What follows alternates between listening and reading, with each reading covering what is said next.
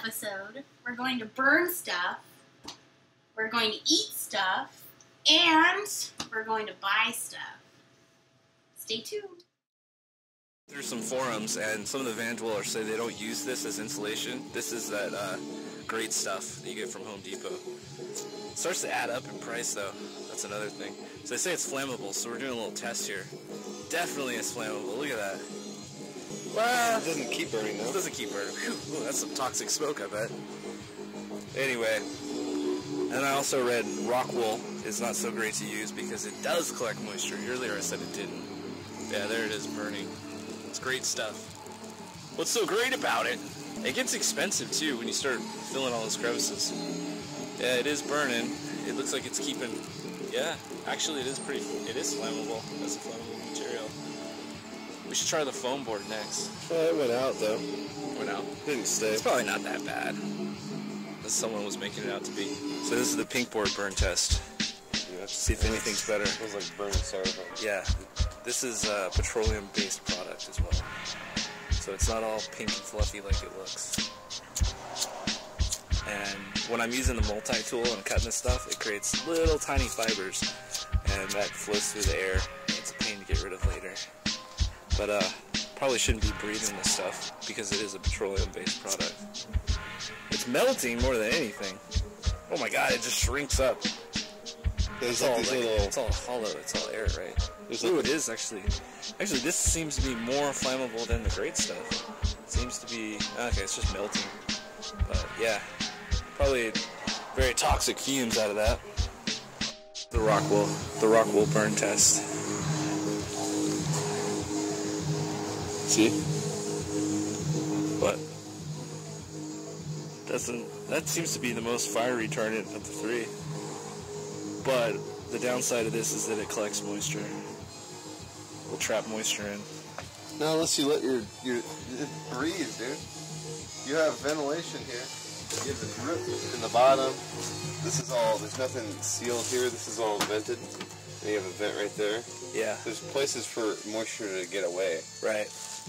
You'll see. All right. You can just easily pop the door and inspect it like a year from now. Yeah, I'll do that. Starting this day off with a wonderful breakfast. Compliments of our chef, Kathy, and our chickens that we have here on the property. Thank you, guys. Your your offspring are delicious. Mm. As they watch us as we eat over their their spawn. Pretty creepy, but pretty tasty.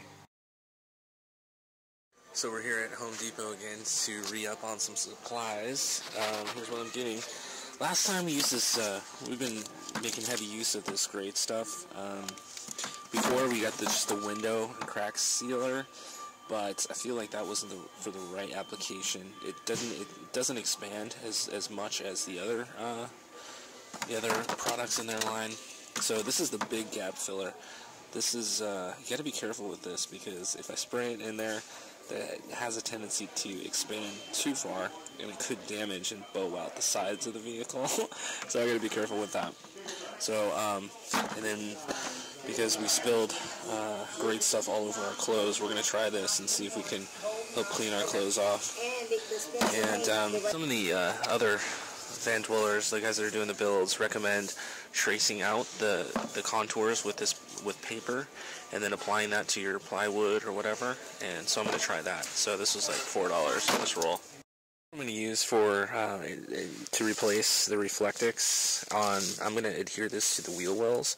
It's got this nice um, adhesive type backing, and um, it guarantees, or well, they state that it's um, R value three, and that's versus the Reflectix. I was just going to cut some Reflectix and tape it into place, but this should provide just out of the box um, a higher R value rating. Now the Reflectix, it's a marketing claim. They claim like six, but um, in what I've researched, it's really only R1, and that's because even the manufacturer states that you need to have like a three-inch gap of air in between, and that's what provides the insulation and gives it the R6 value. So really, that stuff is overhyped, overused, and um, this out of the box should be fine. Should provide R3 value. I'm in the HVAC section. This is duct installation, so um, we'll give it a shot. I've never seen anybody use it before, but I'll give it a shot. Another replacement for the much uh, overhyped Reflectix. Um, you really don't get that much of it in a pack, and each each roll costs three dollars fifty cents, something like that. So I'm going to um, invest or look into using some of this just HVAC foil backed tape, and it should should have the same effect. Reflectix tape that I'm talking about, so it's 335 for a 30 foot roll and just my rough calculations is uh, about double the price uh, when compared to just HVAC foil backed tape. And it's really the same stuff. Come on. Hey man. YouTubers, if you liked my video, give me a thumbs up. If you have something to say, leave a comment below. And don't forget to subscribe. Thanks for watching, guys. Get out there and live the dream. LTD. Later.